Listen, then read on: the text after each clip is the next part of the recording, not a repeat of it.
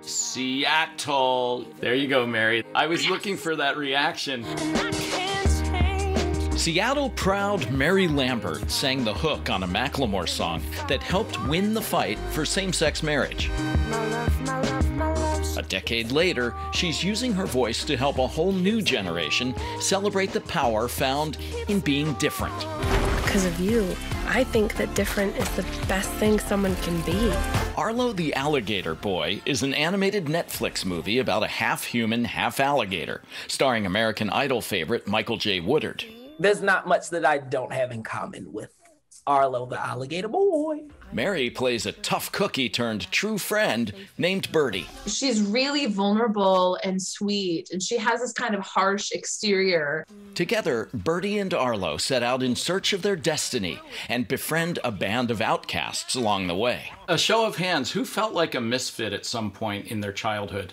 Okay, that's why this movie works, right? It's a fantasy film, but it feels very real to its stars. Our identities are becoming intertwined with our characters. Director Ryan Crego says when he was looking for a relentlessly optimistic actor to play his relentlessly optimistic lead character, Michael was the obvious choice. Um, I was just like, man, that there's someone out there that exists like that. and Mary was at the perfect point in her life to get superhuman on screen.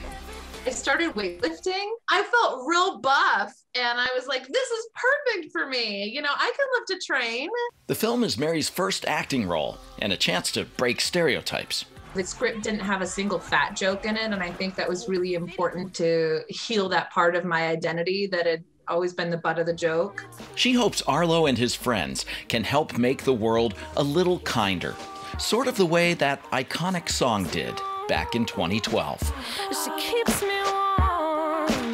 Mary, it's been almost 10 years since Same Love came out. It changed attitudes, it changed laws, it changed the world in a lot of ways. How did it change you?